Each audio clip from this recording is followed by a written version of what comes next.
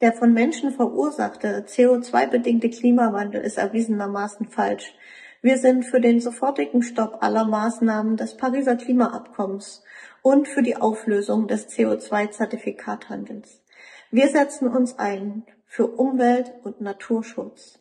Und dabei muss der Ausbau erneuerbarer Energien sorgfältig geplant und umgesetzt werden, um Schäden an der Natur und Tierwelt zu verhindern.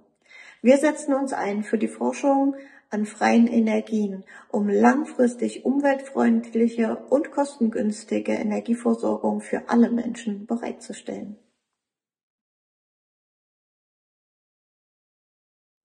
Gute Jugendarbeit zeichnet sich immer durch Engagement, aktives Mitwirken und Mitgestalten im politischen Geschehen aus.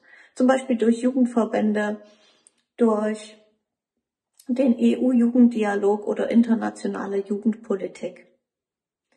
Das europapolitische Engagement junger Menschen sollte durch die Bildung und aktive Gestaltung von Jugendverbänden in den Parteien unterstützt werden. Auch die Bildung eines Jugendparlaments wäre förderlich. Politik muss leicht verständlich gemacht werden und junge Menschen müssen von Politikern gehört und ernst genommen werden.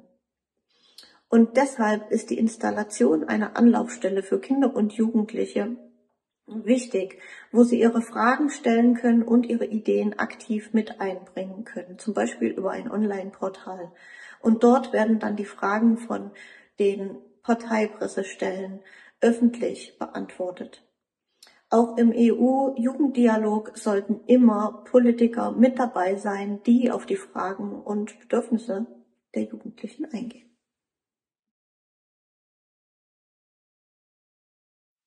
Der Zusammenhalt in Europa ist zwingende Voraussetzung für Wohlstand, Sicherheit und Zukunftsfähigkeit.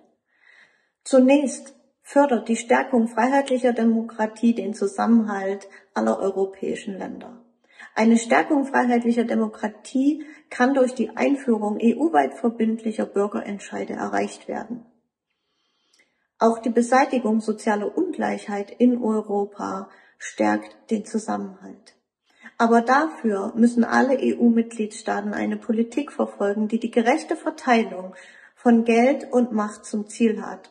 Und das bedeutet eine Politik im Sinne der Bevölkerung. Chancengleichheit, Angleichung von Einkommen, gerechte Verteilung von Steuergeldern und länderübergreifende Zusammenarbeit.